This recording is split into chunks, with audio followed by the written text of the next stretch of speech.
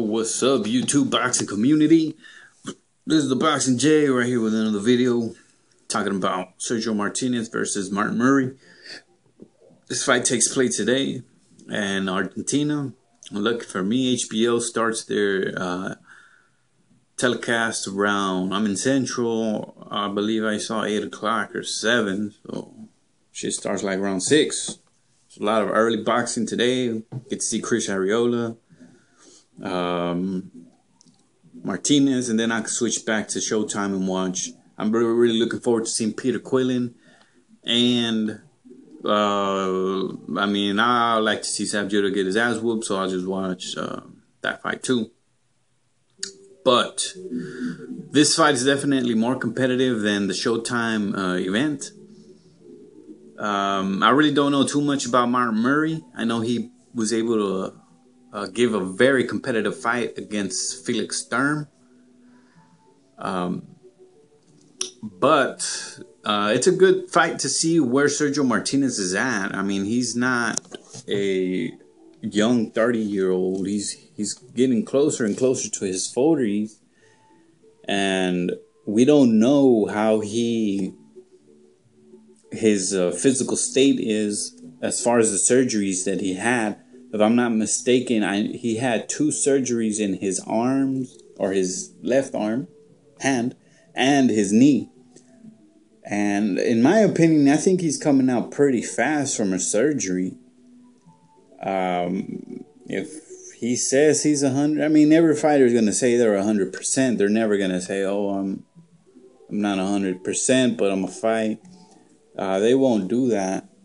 And I honestly believe that Lou DiBella is trying to cash this guy out as much as possible.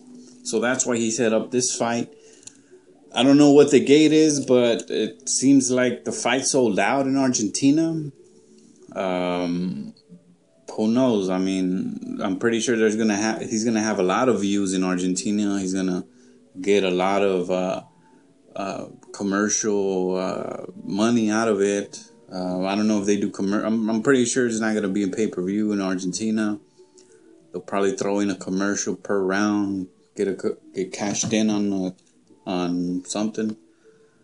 But um, honestly, I, I, can't really give an honest prediction on it because uh, I really don't know too much about Martin Murray, as I said. But I do believe Martinez should win this fight. I've seen his highlights. He seems he's a pressure fighter. Uh, it seems like he has pretty long arms, so it might give Sergio a problem. I don't know if he's going to come as a pressure fighter uh, because Martinez will box you inside, he will fight you. Uh, but we've seen Sergio Martinez have problems with boxers. Um, one person was Matthew Macklin when he fought him Matthew Macklin was known as a pressure fighter, but he changed his game plan. He was actually boxing him. He was out all boxing him. I actually think he he was ahead in the cards, if I'm not mistaken, in the scorecards until he got the knockout. But um, we'll see what happens. Um, I want to say, um, I mean, I really don't know too much about Murray, but what I've seen, I mean, I want to say like a unanimous decision, especially if it's in Argentina.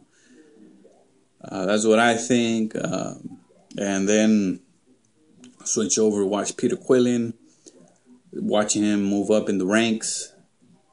Uh, but other than that, that's it.